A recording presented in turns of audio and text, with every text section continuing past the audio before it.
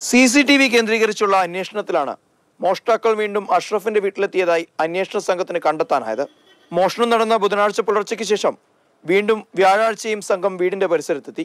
ദിവസങ്ങളോളം കുടുംബാംഗങ്ങൾ വീട്ടിൽ നിന്നും മാറി നിൽക്കുകയാണ് എന്നറിയാവുന്നവരാണ് മോഷണത്തിന് പിന്നിലെന്ന പോലീസിന്റെ നിഗമനം ശരിവെക്കുന്ന തരത്തിലുള്ളതാണ് ഇപ്പോൾ കിട്ടിയ ദൃശ്യങ്ങൾ.